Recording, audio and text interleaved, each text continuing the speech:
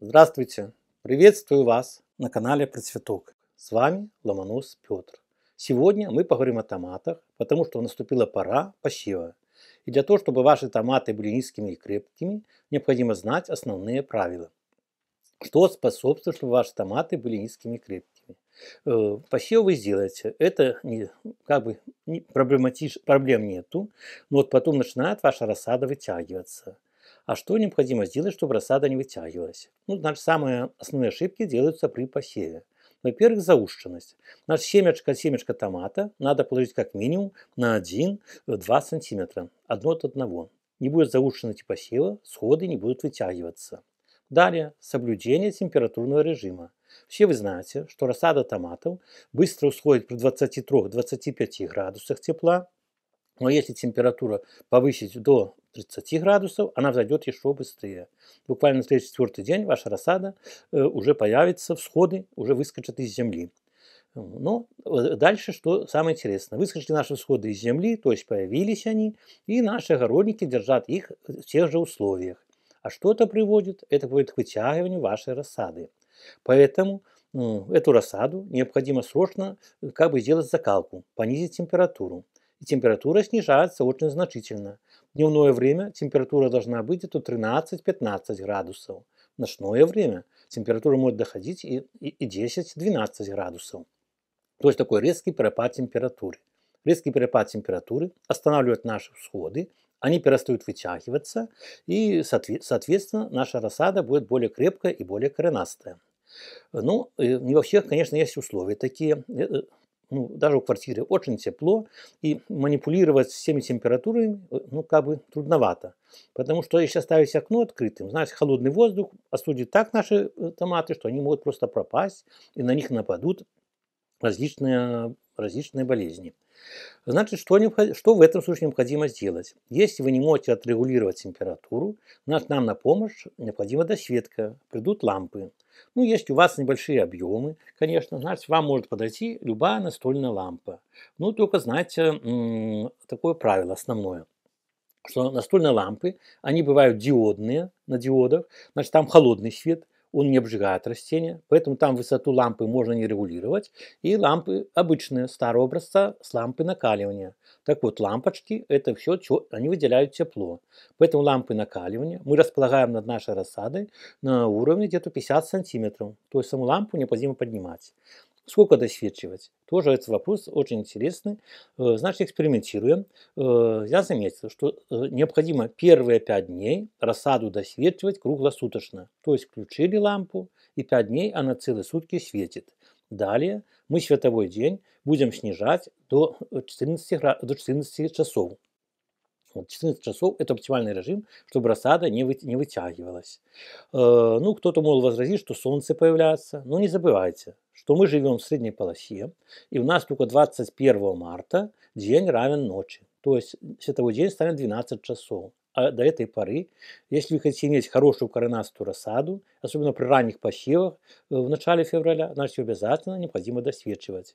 Ну, также подойдут люминесцентные лампы, если у вас больше, большие объемы. Это старые лампы, которые мы привыкли видеть в производственных помещениях.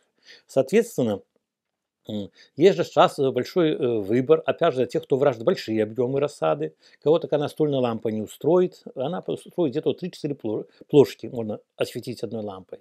При больших объемах же есть продажи агролампы. Есть агролампы с белым светом, есть с красным светом, фиолетовым светом.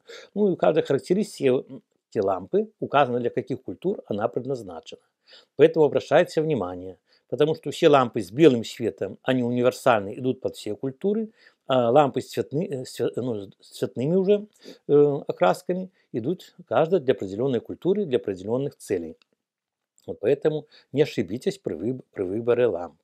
Ну и что? Для того, чтобы ваши томаты были крепкими, и хорошо не падали черные ножки, что довольно часто случается, значит, сразу же появляются всходы, сделайте полив.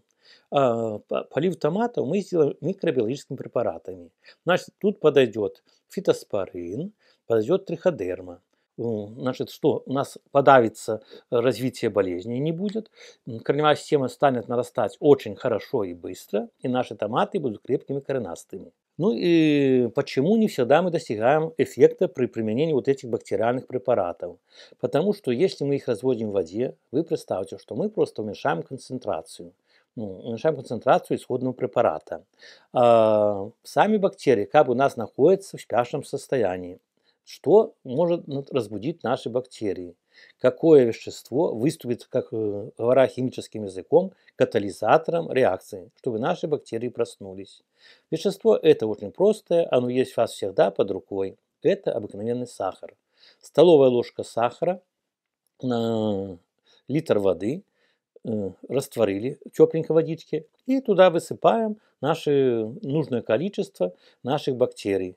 Тоже э, сенные палочки, той, той же триходермы высыпали, и полчаса они должны там помокнуть.